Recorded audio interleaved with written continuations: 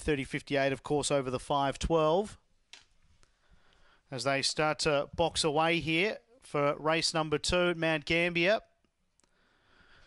Favourite is the five, Our Menace at a dollar eighty-five. Race two, Mount Gambier. The lure is rolling. We're set, ready and racing and springing the lids was Master Moment. Trying to rummage up now was Our Menace. Running to second underneath it was Born Birdie.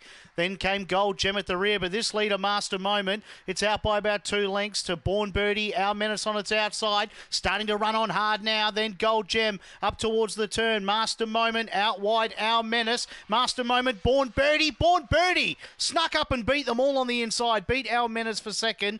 Then came Master Moment, and at the rear was Gold Gem. Born Birdie railed hard to win and has upset the favourite here. The four. We'll just wait on official numbers here to come up in the frame. It's up the four. Born Birdie in a time of 23.50. Five Our Menace has run second. That'll leave uh, Master Moment the two for third. And Gold Gem never really got into the race. It's run fourth and last in the field of four in a time of 23.50.